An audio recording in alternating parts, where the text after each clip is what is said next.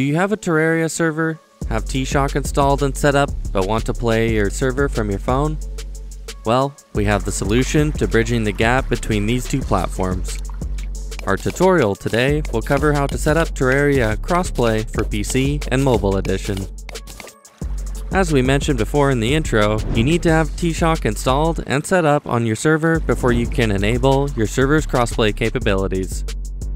Check out our tutorial on how to set up TShock here if you need to know how to do that. Next, go ahead and stop your server if you haven't already. Head to the Crossplay for Terraria GitHub page. We will link it here and in the description. Locate the Assets dropdown, then click on the crossplay.dll file to download it. Once the file is downloaded, open up an FTP client such as FileZilla and connect to your server.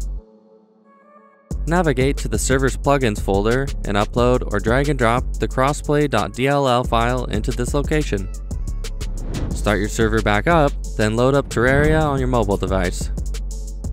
Click on multiplayer, choose a playable character, switch from the local to the online tab, and select add.